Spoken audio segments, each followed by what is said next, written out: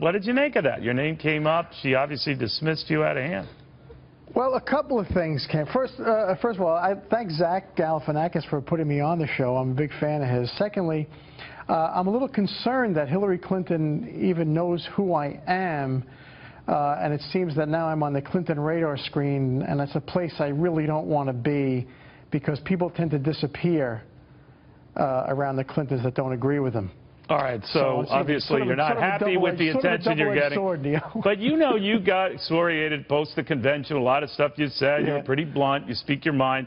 Has it hurt you in, in, in the Hollywood community, what the stuff you said? I mean, people who know you and have known you for years, this is not surprising, and they know you're passionate about this sort of stuff. But um, Uh, did you lose any deals, any endorsements, any special contract as a result? Not that I'm aware of. I'm, I'm, I haven't done anything in a couple of years, Neil, only because I don't want to. I don't feel like doing anything. I've You're that since wealthy. Nine. I admire that, Scott. Uh, hey, whatever. You know, I'm working since I'm nine years old. I've got, I've got a, I, and people, and you know, the funny, the thing that people tell me is this: well, Baio can't get a job, and I, so- and my, and my thought is, and it- which is true, is, man, I've got an eight-year-old daughter to raise. I've got a wife with a brain tumor.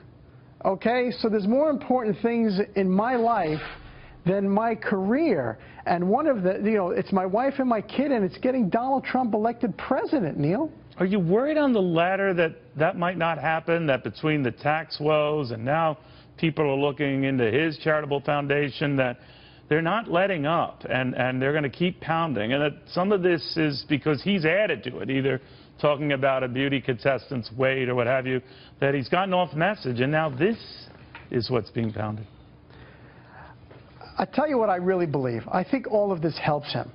Because I, I think at a certain point, I, I think there's a tipping point where good people in this country, I guess the deplorable people in this country, um, get a belly full of it and say, you know what, this is all sort of, this is all sort of uh, beyond the pale. It's going a little too far. And, and the thing that kills me about this, Neil, is that Donald Trump uh, losing $900 million in taxes and then sort of getting out of it legally is a scandal, but the New York Times doing something illegal is not a scandal. And at some point, either we wake up or this country just goes right down the toilet. But do you think it shows a double standard there? What I always Yes. tell people, whatever your opinions are, Donald Trump, that was his company, his namesake. Uh, if we had substituted Donald Trump for Apple or Cisco or General Motors or Caterpillar, companies that also had eye-popping losses in given years, um, we, we wouldn't look twice. We, these are things that happen. But obviously, maybe Hey, because he's running for president, uh, we Right. look at it, right? Hillary Clinton did, did, did the same thing for when she had some losses. Her State Depart, Department lost six billion dollars of our money, and nobody seems to give a whit about that. This guy lost his own money and then rebounded because that's what this country is all about. My father went through the same thing, not at a billion dollar level. He lost everything, my dad. And he didn't ask anything from anybody. Picked himself up and he kept going and raised raised three kids and a wife and Did he write and- off and those isn't that what- losses? I'm sorry? Did he write off those losses? I was three.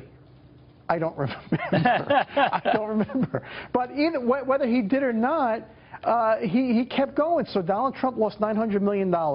And you're right. If it was Apple, would anybody be saying boo? No, but because he's running for president and because he's a, a, a, a Republican, which multiplies it by a thousand. If this was Hillary Clinton and she lost $900,000 and tried to write it off, or $900 million and tried to write it off, eh, eh, legal, no big deal. She didn't do anything illegal.